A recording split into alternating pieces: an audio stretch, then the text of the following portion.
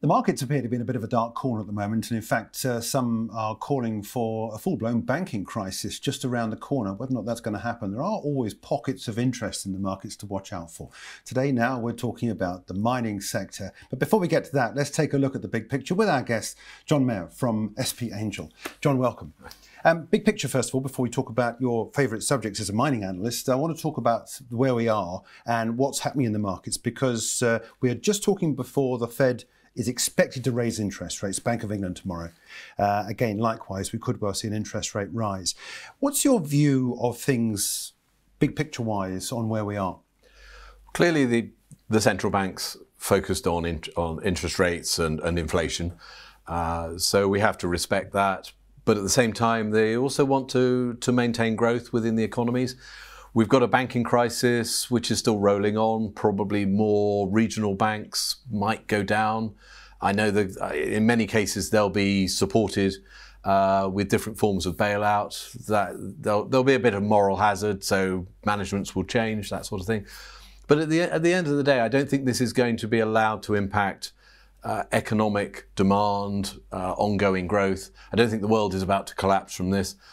What we've seen with commodities is commodities have come down quite naturally. There's a there's a risk off trade there, but it, there's also been a degree of deleveraging of commodity traders. So Credit Suisse lending money to various traders, particularly in Switzerland. Uh, those traders will have gone for a more risk off approach. So they'll have mm. sold cargoes of oil, uh, consignments of nickel and and uh, and copper, for example. But we're already seeing those commodities pick up again. Oil is certainly picking up, nickel, copper, uh, and, and, and aluminium, all back on the rise. So I think, yes, I w- I won't call it a flash crash because it ha- hasn't been a cla- crash, but I think this is a fairly short lived crisis. It might bump along the bottom for a bit, but it's definitely providing buying opportunities. Let me let me bring up a chart of, um, of crude oil. Uh, this is this is US crude oil, WTI, uh, West Texas Intermediate, and you talk about this drop here. Yeah, it's, it's not quite down as far as it was back on the second December 2021. So we got that level of support at 61.55 below where we are. But to be fair, it has come down tremendously, 120 dollars down to 69.54. This to me describes the incoming potential recession are you not worried about that? I mean, that surely is what's being priced in here, isn't it? I, I would be concerned about it, and I think there's I think a lot of this is because of inventory build, because of China being locked down effectively for the first two months of the year. In fact, they were coming out of lockdown, but a lot of the Chinese people were off catching COVID. Then they had the Lunar New Year, a bit of recovery there, and China is definitely back to work now. We know that they've run out of uh, drugs for treating flu, which is unfortunate. So they're following the same path that we did over here. We've had a bit of a flu crisis this winter, and we're coming out of that now, which is great. Uh, and I'm straying off my straying off my specialist subject, which is mining more than healthcare. But we do have a healthcare team at SP Angel, which is quite useful for this sort of stuff. So we do see China getting back to work. We see the demand picking up. But this inventory build has very fortunately pushed energy prices down. Uh, also, Russia is pumping as much as it can, selling that through India and China mainly. So there's quite a lot coming into world markets. This is very good news for inflation because if you think four of the five big inflation drivers in the US and, and actually in the UK as well, uh, energy related, oil or, or diesel and gasoline, uh, other energy products, natural gas, those prices have come down quite heavily too. Uh, so inflation will come off. Although we've got a bit of a rise in inflation in the UK at the moment, um, it's definitely going to come down because of that. The fifth inflation driver was used car prices. Now, there are a lot more semiconductor chips around for car makers these days. So the automotive trade is expecting used car prices to come off this summer quite heavily as a lot of new new car production comes into the market. So that's that's all good news for central banks, and I think central banks will be aware of this, and they'll be saying, well, we we don't have to go too heavy on interest rate rises right now. We'll just show that we're we're still focused on this, but we'll let that come off. And I think you know, nobody wants to kill kill growth in the economy, certainly in the UK. I'm sure in the US. So I think we are still going to see that, and particularly within the new energy metals, uh, copper, nickel, tin, those sorts of things. I think that there's ongoing strong demand, and we're seeing we're seeing um, evidence of that. Mm. Well, let's, let's let's bring up a chart of copper because this is a good example, isn't it, of where perhaps maybe we have this. You were talking about this rise that we've seen in the last couple of weeks or so, bouncing off this line of support, 84.42. What is it about copper particularly that we like? We've spoken about this before, I know, and inclusion is a is a very old and uh, over I won't say overused, but it is a, a it's a, a, very good barometer, I guess, of some parts of the economy. Um, why is copper holding up better than oil? Well, I think there's fundamentally a lot of demand for it. There's not a lot of spare copper in the world. Production has been interrupted in Latin America, particularly in Peru, where they had a lot of local protests interrupting supply chains.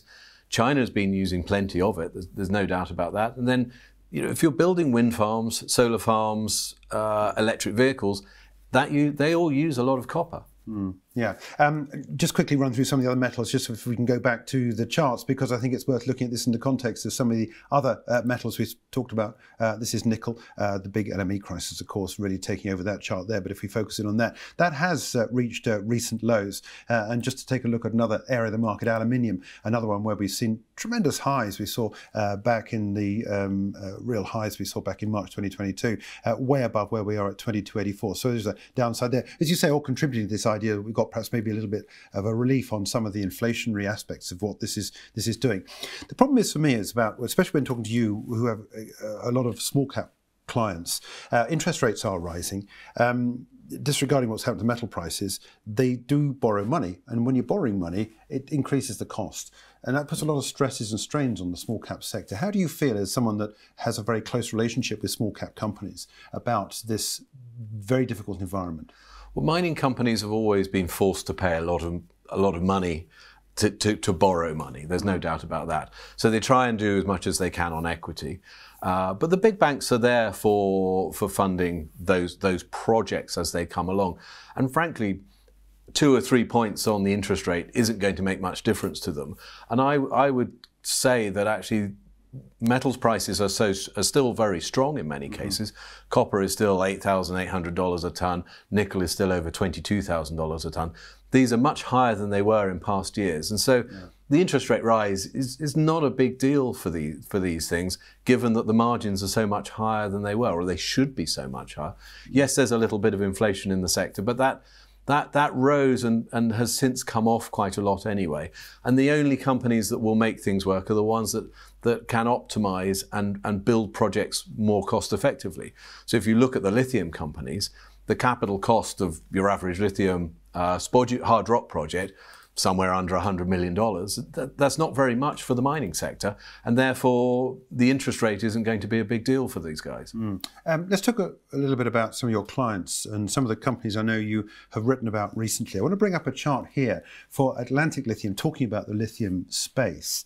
Uh, just explain why we've seen this drop here. Clearly, I mean, lithium is one of these new metals, isn't it, that everybody's talking about because of the battery um, increase in use of batteries. Um, what, what's what do you like about Atlantic Lithium, and what's your relationship with them?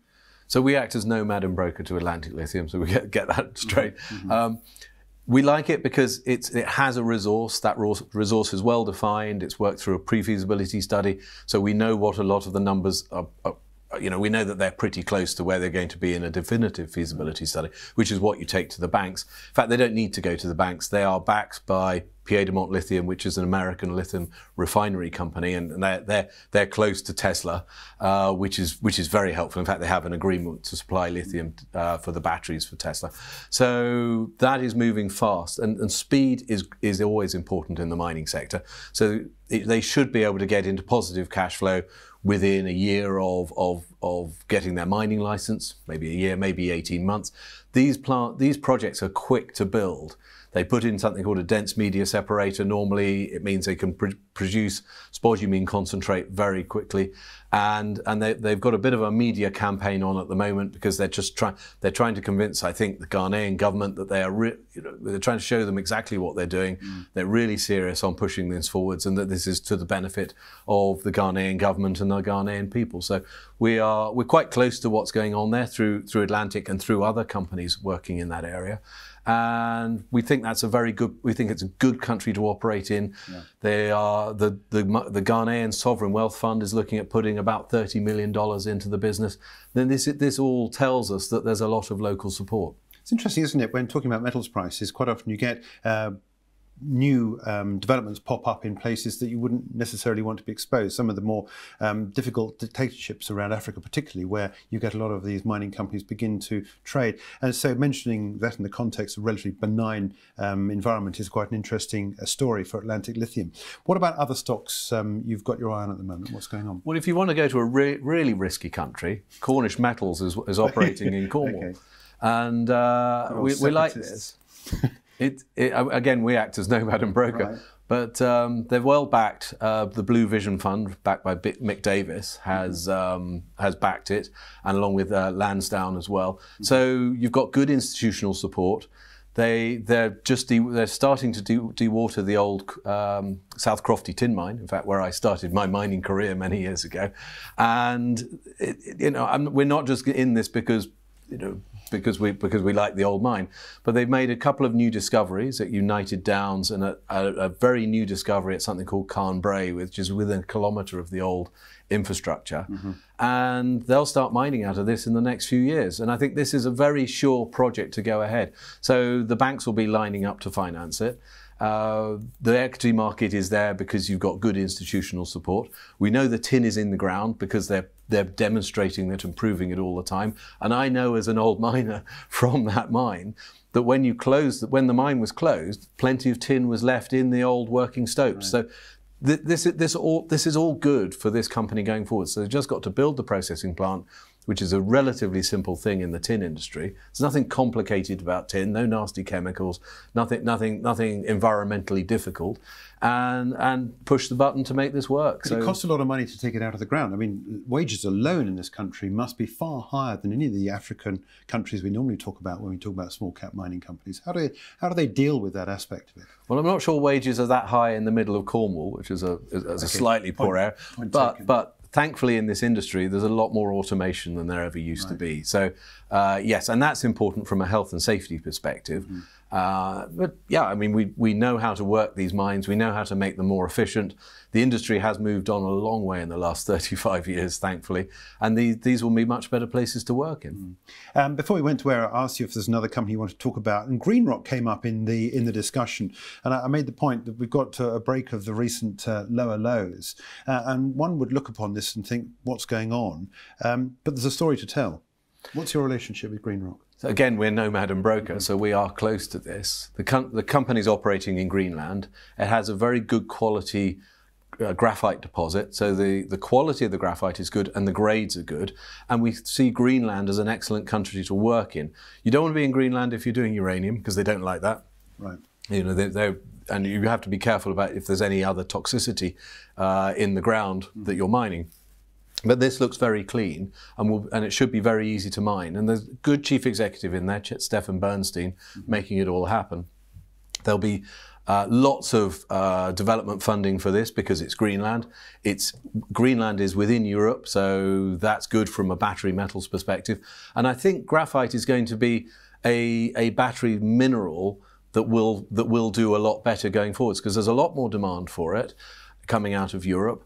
Nobody wants to be buying this, all of this from, from China because we don't want to be beholden to China. China controls the graphite industry at the moment. Lots of opportunity to add value to the graphite, maybe by mixing it with a little bit of graphene to help those battery anodes work. Other industrial markets for this material as well. So we think that the battery quality graphite price will go up quite a lot. In fact, that's normally at the lower level, to be perfectly honest. So you get but within graphite, you get jumbo flake, medium size, small size, and you get small spherical, which is what they use in the anodes. And if you can if you can improve the quality of that small spherical, then you can improve the price of it a lot.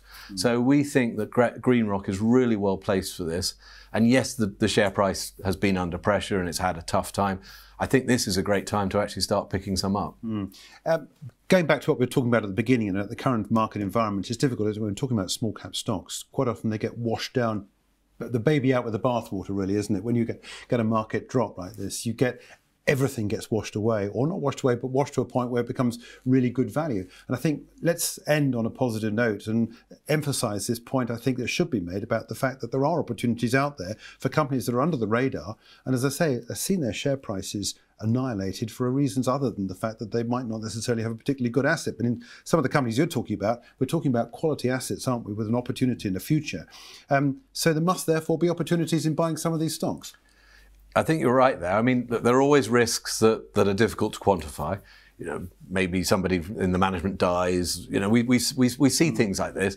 Um, but I think in these cases, these companies are pretty solid, pretty secure. And I think notwithstanding what might happen within the overall market environment, they ought to be going better. Mm. Okay, John, thanks so much indeed for joining us. Uh, pleasure to be able to catch up with you once again in the studio. That's John Meyer from SP Angel with a look at some of the mining opportunities at the moment as we see uh, banking stocks continue to uh, uh work through what some are perceiving as a, a, current crisis within the sector. That's how it's making itself felt across the, uh, the mining sector as things stand there at the moment.